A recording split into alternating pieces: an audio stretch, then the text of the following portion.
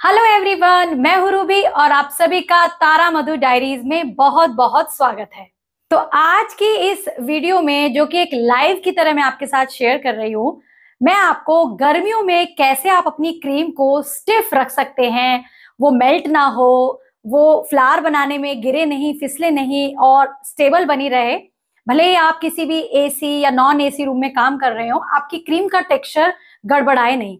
देखिए फ्रेंड्स गर्मियों में क्रीम के साथ काम करने में थोड़े से हमें स्पेशल अटेंशन की ज़रूरत होती है। जैसे हम विंटर्स में काम करते हैं, वैसे हम गर्मियों में काम नहीं कर सकते। हमें थोड़ा सा ध्यान रखना होगा, क्योंकि क्रीम एक ऐसी चीज़ है जो बहुत सोफिस्टिकेटेड है, बहुत जल्दी हाथों की गर्माहट से भी वो मेल्ट होने लगती है और कभी कभी हमारा पूरा केक जो है वो थोड़ी सी क्रीम के टेक्सचर की वजह से गड़बड़ा सकता है और फिनिशिंग नहीं भी दिख सकती है। यहीं पर अगर आपने क्रीम को ओवर विप कर दिया तो भी आपको परेशानियाँ आ सकती हैं केक की फिनिशिंग उतनी अच्छे से नहीं दिखेगी।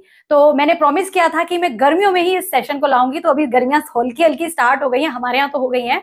और अभी आपको मैं ऊपर कैमरे को ऑन करके दिखाती हूँ, ना मेरे इस रूम में कोई एसी है, ना कोई कूलर है, ना कोई फ़ैन भी ऑन है फ़ैन एकदम ऑफ़ है और ऐसे ही मैं अपनी गर्मियों में भी काम करती हूँ। क्योंकि मैं यूट्यूब पे वीडियोस डालती हूँ, अगर मैं फ़ैन चलाऊँगी तो मेरे वीडियोस की जो क्लियरिटी उसमें डिस्टर्बेंस आता है तो हमेशा मैं यहीं पर काम करती हूँ। आपने देखा होगा मेरा टेबल पर सेटअप और मेरे कमरे में कोई एसी फ़ैन नहीं चलता। पर बार बार मेरी दौड़ भाग होती रहती है, कैसे होती रहती है, सारी जानकारी आज के इस लाइव में या वीडियो में जो भी आप कहें, आपको मिल जाएगी। और मुझे नहीं लगता फ्रेंड्स, इस पूरे लाइव वीडियो को देखने के बाद या इस पूरी क्लास को अटेंड करने के बाद, आगे आने वाली गर्मियों में आपको कोई भी दिक्कत आएगी। इसकी मेरी फुल ऑन गारंटी। और आप याद रखेंगे कि फलाने चैनल पर उसने जो बताया था, वो आज तक मैं फॉलो कर रही हूँ और मेरी क्रीम मेल्ट नहीं हुई। मैं इतनी ऑनेस्टी से आपके साथ आज अपनी सारी ट्रिक्स शेयर करने जा रही हूँ। तो मेरी रिक्वेस्ट है प्लीज़ इस वीडियो को एंड तक देखेगा और मेरी बताई हुई टिप्स, ट्रिक्स को फॉलो करके देखेगा क्योंकि ये मैंने कहीं से सीखी नहीं।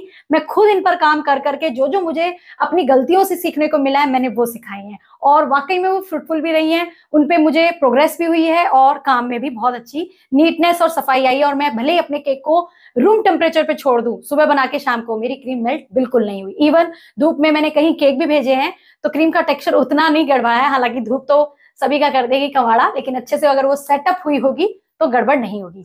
तो सबसे पहले फ्रेंड्स कैमरे को थोड़ा पास कर देती हूँ सो दैट मैं आपको अच्छे से हर चीज़ दिखा पाऊँ। सबसे पहली जो बात आती है, वो आती है क्रीम भाई, हम क्रीम कौन सी ले? तो विपिंग क्रीम मार्केट में बहुत सारी मिलती है। ऑनलाइन ये नहीं मिलेगी बिकॉज़ इसको फ्रीजर में स्टोर किया जाता है। यानी कि जब हम अपना काम कर रहे होते हैं तो ये ठंडी होनी चाहिए। तो जब हम ऑनलाइन मंगाएँगे, वैसे तो ये मिलती नहीं है। अगर मंगाएँगे तो वो तो मेल्टेड आएगी और वो एक बार मेल्ट हो गई नॉर्मल रूम टेम्परेचर पर आ गई काफ़ी देर तक रही तो वो खुद ब खुद खराब हो जाएगी वो आ, फिर नहीं विप होगी। चाहे भले आप उसको ला करके फ्रीजर में रख दे। और अगर आप कहीं दूर दराज गाँव में रहते हैं दूर से क्रीम लाते हैं और वो कम से कम रूम टेम्परेचर पर आकर एक दो घंटे तक पड़ी रही है तो भी क्रीम से काम करना मुश्किल हो जाएगा तो ऐसी गलती ना करें। अगर दूर दराज से ला रहे हैं तो कुछ ऐसा आइस बैग टाइप चीज़ लेके जाइए जो बॉक्सेस होते हैं ताकि आपकी क्रीम पे थोड़ा टेम्परेचर रहे और लाकर तुरंत फ्रीजर में रख दें। अब बारी आती है कि भाई क्रीम हमारे यहाँ मिलती नहीं है, हम क्या करें? हमें केक तो बनाना है। तो फिर मार्केट में विपिंग क्रीम विप क्रीम के पाउडर भी अवेलेबल है बट देखिए, सीधी ऑनेस्टी से बता रही हूँ, उसका टेस्ट इसके टेस्ट से फ़र्क आएगा। वो आपको कॉस्टली भी पड़ेगी, क्योंकि जो एक छोटा सा पैकेट भी होता है, उससे थोड़ी ही क्रीम बनेगी, जबकि ये आपको काफ़ी सारा रिज़ल्ट देगी। तो एक आधा के केक में ही आपको जो कॉस्ट पड़ने वाली है विपिंग क्रीम के पाउडर से, उससे ये कहीं ज़्यादा सस्ती पड़ेगी। बट अगर आपके पास चॉइस नहीं है तो फिर आपको उसी के ऊपर जाना पड़ेगा। उसके लिए फिर कोई ऑप्शन नहीं है।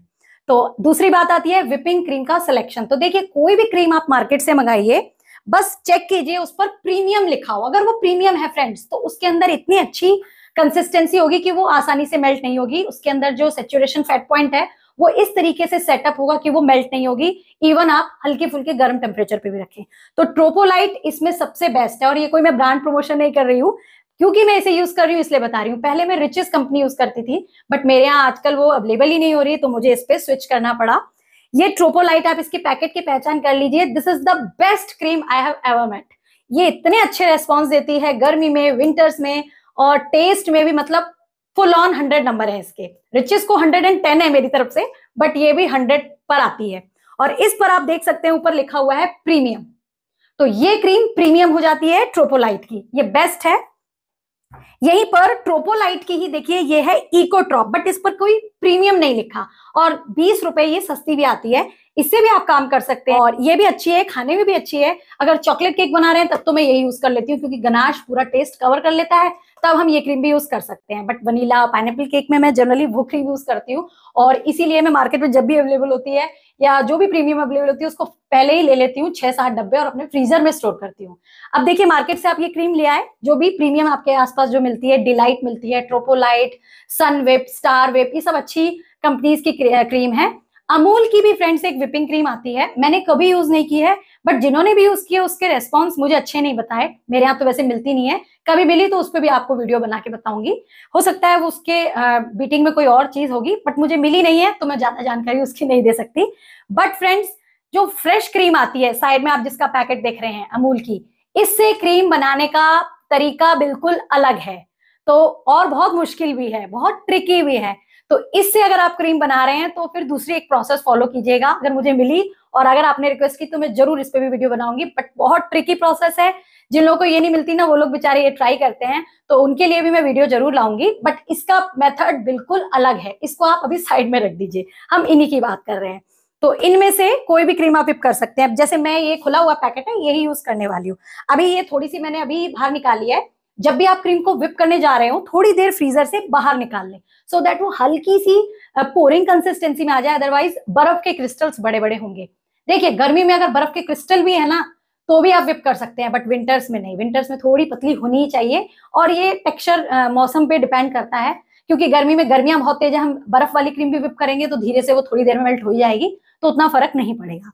अब दूसरी बात आती है फ्रेंड्स विप करने का तरीका। तो हमेशा क्रीम को बड़े बाउल में विप करें ताकि उसको जब वो बढ़ेगी विप करने के बाद उसको स्पेस मिले और वो अच्छे से बन पाए। छोटे बर्तन में आप विप करेंगे तो वो इधर उधर छटका मारेगी। इधर उधर दीवार पर खराब होगी, मेरी पूरी दीवार खराब हो चुकी है, क्योंकि मैं ऐसे ऐसे विप करती हूँ, कभी थोड़ी भी करनी पड़ती है इमरजेंसी में। तो हमेशा बड़ा बर्तन चूज़ करें स्टील का करें प्लास्टिक का करें एल्यूमिनियम का बर्तन यूज़ ना करें, उससे क्रीम आपकी काली हो सकती है टेक्सचर खराब हो सकता है। जो ब्लेड्स होते हैं, वो एल्यूमिनियम के साथ रब कर करके आपके क्रीम के अंदर भी उसके कुछ पार्टिकल्स आ सकते हैं, जो कि आपकी हेल्थ के लिए भी हानिकारक हो सकते हैं। तो avoid aluminium utensil try for steel और प्लास्टिक कंटेनर, जो भी फ़ूड ग्रेड आप यूज़ करते हो बट बड़े साइज़ का, छोटा नहीं। ठीक है? अब बारी आती है दूसरी कि क्रीम को विप कैसे करें? तो देखिए, इसके लिए बहुत सारे ऑप्शन है। इलेक्ट्रिक बीटर है, सस्ते वाला साठ सत्तर रुपए का, दिखाती हूँ, रुकिए। ये भी है और स्टैंड मिक्सर भी है। ये सबसे सस्ता साधन है, साठ सत्तर रुपए का आ जाएगा बट हाथ के डोले शोले खूब बन जाएँगे क्योंकि बहुत मेहनत करनी पड़ेगी। शुरुआत में मैंने तीन चार केक बनाए और मुझे पता है इसका दुख। तो शुरुआत अगर कर रहे हैं तो कोई बात नहीं लिया ये दो तीन केक के पैसे अगर इकट्ठे हो जाएँ तो फिर बीटर ज़रूर ले लीजिएगा, इलेक्ट्रिक वाला। और वो कौन सा लेना है वो भी बताती हूँ। मेरे पास देखिए दो साल पुराना मेरा ये प्रेस्टीज का बीटर है। कलर आप देख सकते हो, और ये मैंने रिलायंस डिजिटल से लिया था ऑनलाइन नहीं लिया था। एटीन हंड्रेड का मुझे ये मिला था।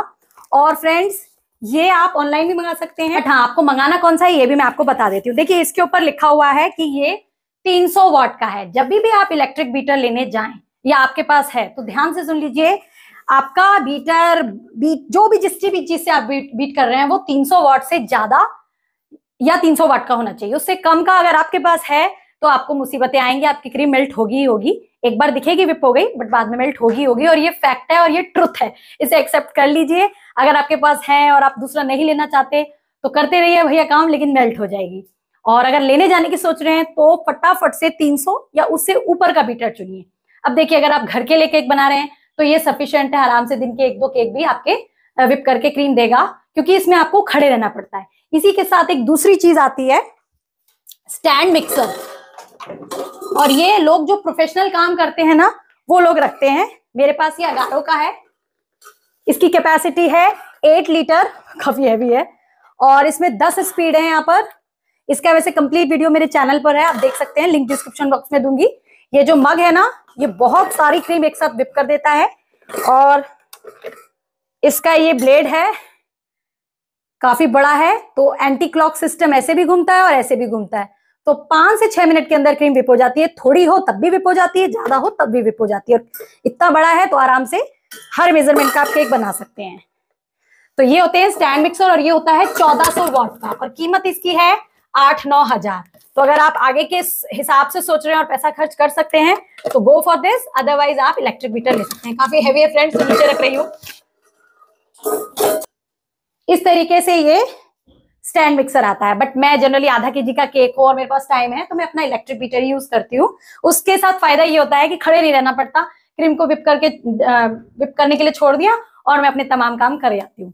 तो अब बारी आती है फ्रेंड्स, बीट करने का प्रॉपर तरीका। तो इसके संग इसके दो ब्लेड्स आते हैं, चार आते हैं, जिससे आटा भी गुंज जाता है, बट मैं वो यूज़ नहीं करती। और इसके खांचे में आपको ये फिट करना होता है। इसका ये प्लग है, अच्छी खासी लीड है तो आप इसे स्टार्ट कर सकते हैं। और फ्रेंड्स, इस पूरे लाइव में कोई भी ब्रांड प्रमोशन में नहीं कर रही हूँ। ये मैं अपनी चीज़ें हैं जो बेस्ट है वो दिखा रही हूँ। और यही नहीं कि आप, मैं कह रही हूँ, यही वाला बीटर लें आप फिलिप्स का बजाज का, जो भी आपको अच्छा लगे, आपके बजट में आए, आप वो ले सकते हैं। बट ध्यान रखिएगा 300 वाट या उससे ऊपर का। ठीक है तो मैं इसका प्लग लगा देती हूँ। तो ये हमारा हो गया है ऑन इसकी बाकी की चीज़ें साइड में रख देते हैं। और अब मुझे फ्रेंड्स आधा केजी का केक बनाना है तो 250 फिफ्टी वाले कप से आप अपनी क्रीम मेजर कर लीजिएगा। अगर आपको लगता है आपके केक में ज़्यादा क्रीम आपसे लग जाती है तो प्रीमिक्स की क्वांटिटी फिर कम कीजिएगा अदरवाइज़ आपका केक ओवरवेट हो जाएगा। तो यहाँ पर मैंने इसे बाहर निकाल दिया था और ये देखिए। इसमें थोड़ा सा क्रिस्टल भी है तो पूरा ही पैकेट डाल देती हूँ, क्योंकि आज बेसिकली मैं अपना एक आधा के का केक बना रही हूँ। उसके लिए मुझे क्रीम चाहिए।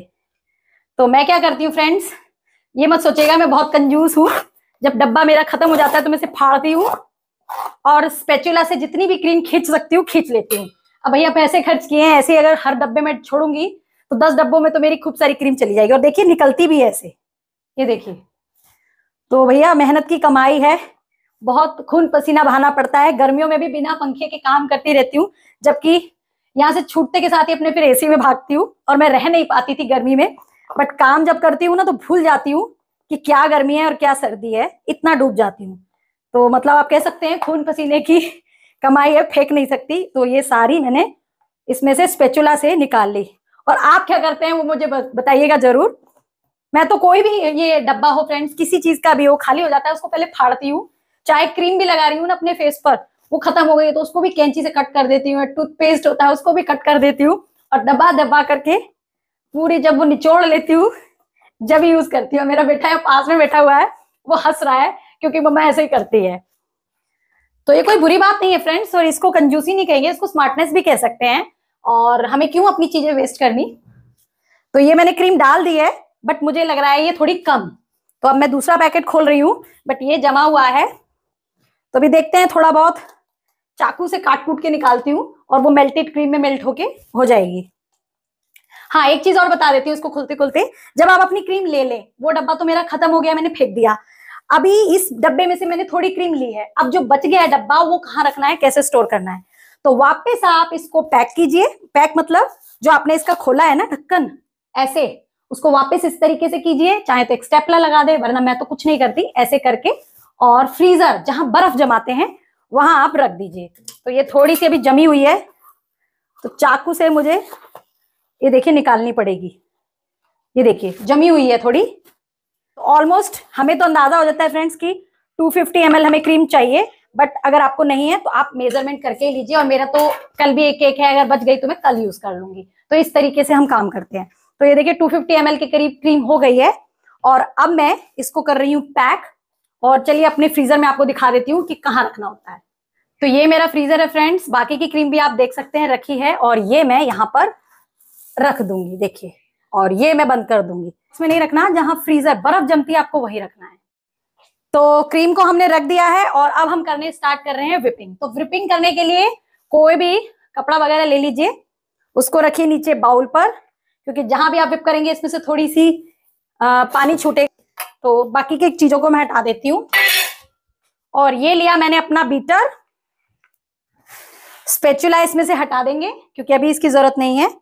इधर से दिखाती हूँ आपको सो दैट दिख जाए। और पास कर देती हूँ। ये देखिए। अभी मुझे लगता है आपको सभी को दिख रहा होगा।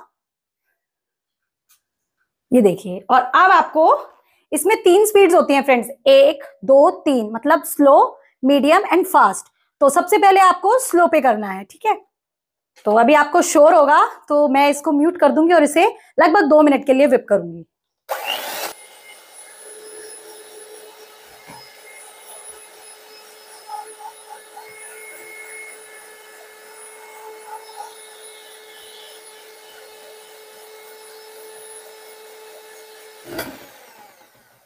तो मैं जो इशारा कर रही थी फ्रेंड्स वो ये था कि एक नंबर की स्पीड पर दो मिनट तक विप करना है। तो मैंने इसे दो मिनट तक विप किया है। अब मैं इसको मीडियम स्पीड पे करूँगी, यानी कि जो नंबर टू स्पीड है उस पर, और फिर से दो तीन मिनट तक विप करूँगी।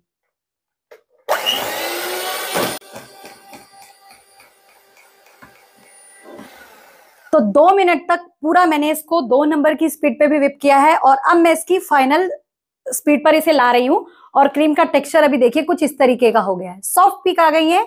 ये हमारी क्रीम विप नहीं हुई है बट इसके आइस क्रिस्टल्स डिजोल्व हो गए हैं और ये थोड़ी सी आ, फूल गई है। अपनी जितनी इसकी अमाउंट थी उससे दुगनी हो गई है। बट हमें इसको तिगुना चौगुना करना है इसको फुला करके अच्छे से इसकी स्टिफ पिक लानी है। तो अब मैं इसको फाइनल थर्ड स्पीड पर ला रही हूँ। जब भी आप किसी भी बीटर से क्रीम विप करें लास्ट में आपको हाई स्पीड पर उसे विप करके ही छोड़ना है तभी वो लंबे समय तक स्टिफ तरीके से स्टेबल रहेगी। अगर आप मीडियम या स्लो पे ही विप करते रहेंगे, भले ही क्रीम विप हो जाए टाइम ज़्यादा लग जाए बट वो जल्दी ही मेल्ट हो सकती है। और अभी इसके अंदर हम समर्स में क्या कर सकते हैं कि ये मेल्ट ना हो, वो भी बताऊँगी। तो अभी स्किप करके कहीं जाइएगा मत। मैं इसको हाई स्पीड पर दो मिनट और विप कर लू।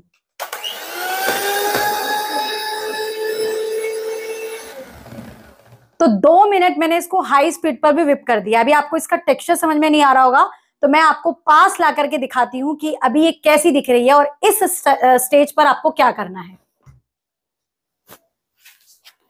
तो ये इसका देखिए टेक्सचर है अभी, और कुछ लोग समझ बैठते हैं कि हमारी क्रीम विप हो गई है, बट देखिए कोई भी पीक इसकी हार्ड नहीं है, स्टिफ नहीं है, इसकी पीक जो है वो अभी कर्व हो रही है। मतलब ये क्रीम अभी विप नहीं हुई है। कुछ लोग सोचते हैं हमारी क्रीम विप हो गई, भाई देखो, ये पीक्स आ गई हैं और अब हम काम कर लेते हैं। बट ये गलत है, अभी ये विप नहीं हुई है। अभी इसमें हमको और विपिंग की ज़रूरत है। देखिए नॉर्मल टेम्परेचर पर तो आप ऐसे ही विप कीजिए। कोई दिक्कत नहीं है अब ये स्टिफ भी आ जाएगी और काम भी कर सकते हैं। बट क्योंकि समर्स में बहुत लोगों को दिक्कत आती है कि भाई क्रीम विप होती है। मैं तो जनरली फ्रेंड्स कुछ भी ऐड नहीं करती हूँ और ऐसे ही विप करके अपना काम कर लेती हूँ। क्या करती हूँ मैं कौन सी टिप्स हैं वो अभी बताऊँगी आगे। बट अगर आपकी क्रीम मेल्ट होती ही है, चाहे आप कितनी ही बढ़िया विप कर लें, पर आपसे क्रीम मेल्ट होती ही है तो आपके पास तीन चार ऑप्शन है। देखिए, ये मैं अपने वीडियोस में भी कई बार शेयर कर चुकी हूँ और यूट्यूब पे भी आपने देखा होगा कि साइट्रिक एसिड ये जो दानेदार चीज़ होती है, ये एक्चुअली होता है नींबू का सत। और इससे हमारी क्रीम जो है, अपनी ही स्टेज में फिक्स हो जाती है काफ़ी देर के लिए। तो इसकी आप एक चुटकी भर करके इसमें डाल सकते हैं। ठीक है, इसको डालने से फिर विप करेंगे तो काफ़ी देर समय तक ये स्ट्रॉन्ग रहेगी स्टिफ बिक रहेगी। बट इसकी क्वांटिटी अगर आपने ज़्यादा डाल दी देखिए इतना डालना है तो ये क्रीम का टेस्ट खराब भी हो सकता है, खट्टा भी हो सकता है। तो बहुत लोग बोलते भी हैं कि हमारी क्रीम तो खट्टी हो गई तो देखिए इतनी क्रीम में केवल एक चुटकी आपको बताई गई है, जिससे कि टेस्ट में फ़र्क नहीं पड़ेगा। थोड़ा बहुत फ़र्क पड़ा तो आप फ्लेवर से बैलेंस कर सकते हैं बट ज़्यादा नहीं डालनी अदरवाइज़ वो फट भी सकती है। क्योंकि अति देखिए हर चीज़ की नुकसानदेह होती है तो ये डाल सकते हैं। दूसरा ऑप्शन आपके पास है सीएमसी पाउडर ये भी मार्केट में आता है सोडियम कार्बोक्सी मिथाइल सेलुलोज ये एक तरीके का स्टेबलाइजर है जो क्रीम को लंबे समय तक स्टेबल मतलब फिक्स स्टिफ पीक पिंगले नहीं, उसको करने में भी काम देता है। और इस पे लिखा भी आइसक्रीम इंप्रूवर मतलब आइसक्रीम में भी ये डलता है सो दैट आइसक्रीम लंबे समय तक मेल्ट ना हो। तो ये किसी भी ब्रांड का आप ले सकते हैं, पूरा नाम इसका सोडियम कार्बोक्सी मिथाइल सेलुलोज होता है, और ये टोटली वेजिटेरियन प्रोडक्ट है, इस तरीके की पैकिंग में आता है, और ये भी आप दो चुटकी इसके इसमें डाल सकते हैं। जैसे मैंने साइट्रिक एसिड का बताया था, इसी तरीके से आप इसकी दो चुटकी डाल सकते हैं, एक और दो। बट मैं कुछ नहीं डालूँगी क्योंकि मेरी क्रीम अभी ठीक टेम्परेचर पर है मेल्ट नहीं होती है। तो ये आपको दूसरा ऑप्शन बता दिया। और फिर भी आपके पास रिज़ल्ट अच्छे नहीं आते तो फ्रेंड्स एक आता है टाइलोस पाउडर जो कि फॉन्डेंट वगैरह में यूज़ होता है फॉर बाइंडिंग बट क्रीम को भी हम बाइंड कर सकते हैं लंबे समय तक, वो टाइट बनी रहे। हमारी डिज़ाइन कुछ ऐसी है कि हमें टाइट क्रीम चाहिए तो इसकी भी आप दो चुटकी डाल सकते हैं। सिट्रिक एसिड एक चुटकी, बाकी चीज़ें आप दो चुटकी 250 फिफ्टी वाली क्रीम में।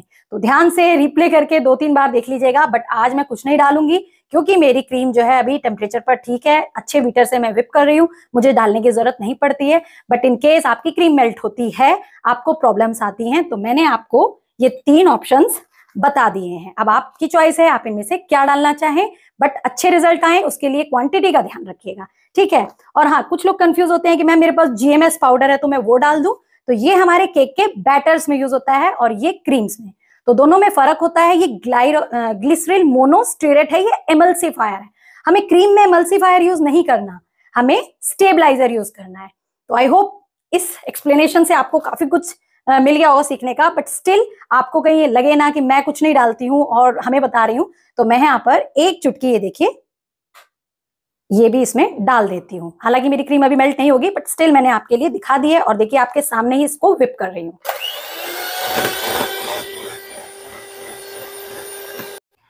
तो आई होप अच्छे से समझ में आ गया बट फिर भी ये तीनों चीज़ों में से आपके पास कुछ भी नहीं है। ना सीएमसी है, ना सिट्रिक एसिड है, ना टाइलोस पाउडर है। तो आप चार से पाँच बूंद नींबू के रस की भी इसमें डाल सकते हैं, वो भी यही काम करता है। बट बहुत ध्यान से क्रीम फटनी नहीं चाहिए, खट्टी नहीं होनी चाहिए, और ऐसा ना हो तो क्रीम ठंडी ज़रूर होनी चाहिए। क्रीम अगर हल्की रूम टेम्परेचर पर हुई तो फटाफट फट जाएगी, क्योंकि आप भी जानते हैं, गर्म दूध में हम नींबू डालते हैं तो फटता है। तो क्रीम अगर ठंडी हुई तो नींबू का जो जो रस है, वो उसको स्टिफ पीक में बनाने में हेल्प करेगा। बट क्रीम अगर गर्म हुई या रूम टेम्परेचर पर हुई तो वो उसे फाड़ भी सकती है, उसका टेस्ट भी खराब कर सकती है। तो प्लीज़ इस बात का ध्यान रखिएगा और टिप्स को ट्रिक्स को ऐसे ही एज इट इज़ फॉलो कीजिएगा, तभी आपको रिज़ल्ट मिलेंगे। नहीं तो फिर आप ही परेशान होंगे कि मैम, मेरा ये हो गया, मेरा वो हो गया। तो अभी मैंने सिट्रिक एसिड आपके सामने इसमें डाल दिया है, अब मैं फिर से तीन मिनट तक विप करूँगी। तो टोटल नौ मिनट में ये क्रीम मेरी विप हो जाएगी। और वो भी हाई स्पीड पर। तो मेरी क्रीम फ्रेंड्स अभी बाकी और भी स्टेजेस से अभी थोड़ी सी स्टिफ हो गई है। स्टिल लेकिन इसकी जो पीक्स हैं वो टेढ़ी हैं। तो इस स्टेज को भी आप मत समझिएगा कि क्रीम विप हो गई है। हो सकता है ये चार से पाँच मिनट अभी और ले, क्योंकि डिपेंड करता है टेम्परेचर पर। अगर विंटर्स होती ना तो ये तीन मिनट पहले विप हो जाती बट अभी गर्मियाँ चल रही है टाइम थोड़ा ज़्यादा भी लगता है, क्योंकि क्रीम क्या है विप करते करते हल्की गर्म भी हो जाती है। हो सकता है आपको और भी तेज गर्मी में इसको इस स्टेज पर ले जाकर के फ्रिज में रखना पड़े। जब ये ठंडी हो जाए, फिर आपको विप करना पड़े। अभी इतनी गर्मी नहीं है तो काम चल जाएगा बट मैं आपको ऐसे एहतियात बताती हूँ कि अगर आपकी क्रीम आपको लगता है कि भाई विपी नहीं हो रही, काफ़ी देर हो गई है और गर्मी बहुत है तो एज इट इज़ आप इसको फ्रिज में, जहाँ पर आपको खाना रखते हैं, आप वहाँ पर इसे रख दीजिए। पाँच दस मिनट छोड़िए, ये थोड़ी सी टाइट होगी और फिर आप अपना काम शुरू कीजिए। तो अभी ये नहीं विप हुई है। हालाँकि देखिए बाउल मेरा पलटने से नहीं गिर रही है। देखिए क्रीम मेरे बाउल को पलटने से नहीं गिर रही है। लेकिन ये भी एक करेक्ट साइन नहीं है कि क्रीम विप हो गई। अभी भी मुझे इसका जो टेक्सचर है वो सॉफ्ट दिख रहा है। पास से आपको दिखाती हूँ ताकि आपको थोड़ा अंदाज़ा हो। ये क्रीम भी प्रॉपरली विप नहीं है, ये देखिए। ये अभी सॉफ्ट है, ये देखिए। इसकी नॉक जो है वो सॉफ्ट है। तो फिर से मैं ऐसे विप कर रही हूँ, क्योंकि ये अभी परफेक्ट स्टेज में नहीं आई है।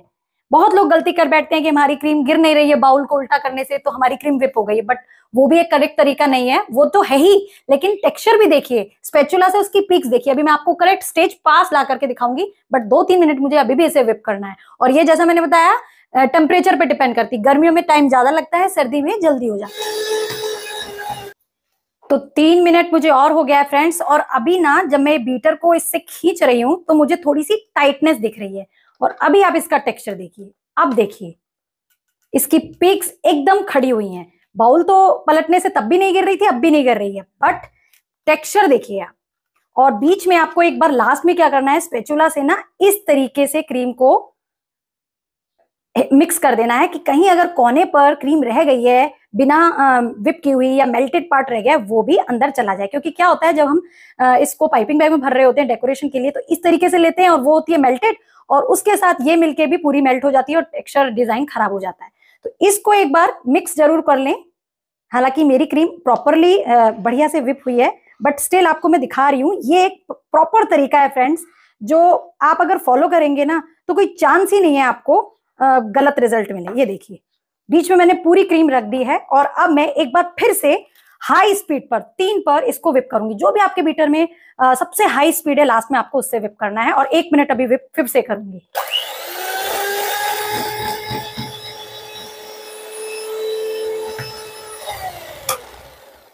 तो फाइनली फ्रेंड्स मैंने इसे और तीन मिनट विप किया है और अब ये परफेक्ट है। अब देखिए, तुरंत आप इसे यूज़ करना चाहें, कर सकते हैं बट अगर गर्मियाँ ज़्यादा है ना, क्योंकि आज मैं स्पेशल फोकस गर्मियों पे दे रही हूँ, क्योंकि उसी समय दिक्कत आती है।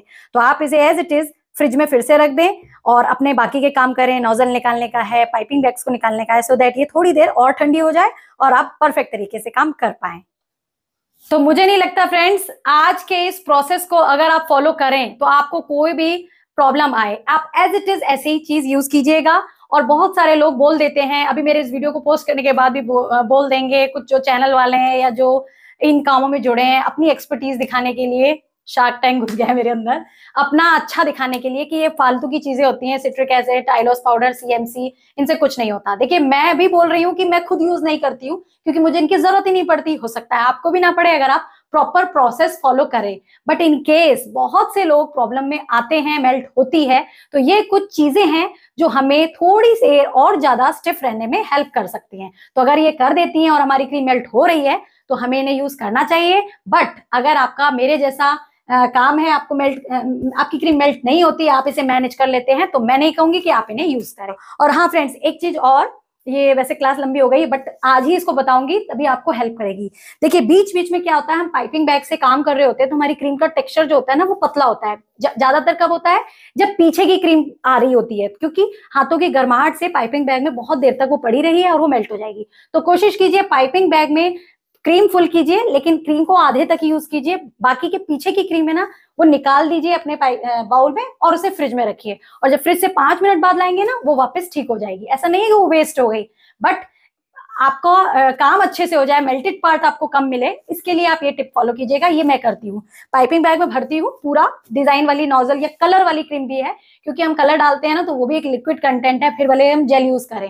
ज़्यादा शेड के लिए, हम बहुत डार्क कलर के लिए पाँच सात ड्रॉप डाल देते हैं तो वो भी एक लिक्विड कंटेंट है क्रीम में गया है टेक्सचर खराब कर सकता है उसको पतला कर सकता है। तो जब ऐसा हो तुरंत पाइपिंग बैग समेत अपने नोजल के साथ फ्रिज में उसे रख दे पाँच मिनट बाद फिर निकाले और मैं यही करती हूँ इसीलिए मैं और भी चीज़ें इसमें कुछ ऐड नहीं करती क्योंकि मेरी भाग दौड़ यही है फ्रेंड्स काम कर रही हूँ लगा कि क्रीम मेल्ट हो रही है तुरंत जाके फ्रिज में रखा।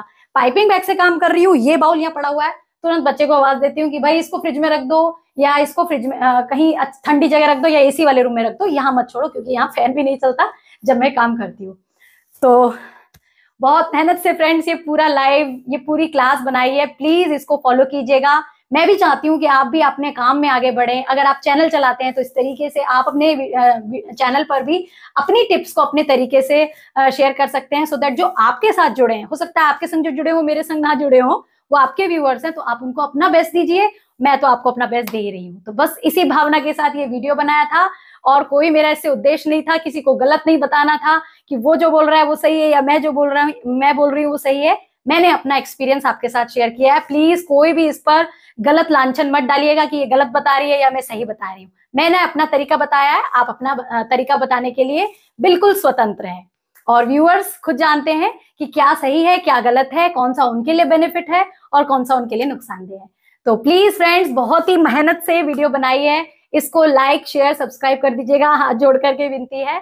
और चैनल पर नए हैं तो चैनल को भी सब्सक्राइब करके साइड में जो बेल आइकन है उसे प्रेस कर दीजिएगा ताकि आपको नोटिफिकेशन मिल जाए। और अभी आगे आने वाले वीडियोस में भी बहुत कुछ नई नई चीज़ें गर्मियों में फॉन्डेंट से लेकर क्रीम से रिलेटेड कैसे काम करना है फ्लावर कैसे बनाना है क्रीम मेल्ट हो जाए तो क्या करें? बाद में क्या गड़बड़, धड़बड़ सब सब कुछ सिखाऊँगी, जो मेरे संग होंगी, सब आपके साथ एज इट इज़ मिरर की तरह क्लियर करके दिखाऊँगी। मैं कुछ नहीं छुपाती फ्रेंड्स जो है, दिखा देती हूँ, जैसी हूँ, वैसे बताती हूँ। और बहुत लोग लांछन भी लगा देते हैं बट कोई बात नहीं, वो उनका तरीका है, ये मेरा तरीका है। तो चलिए, कल मिलेंगे बाय टेक केयर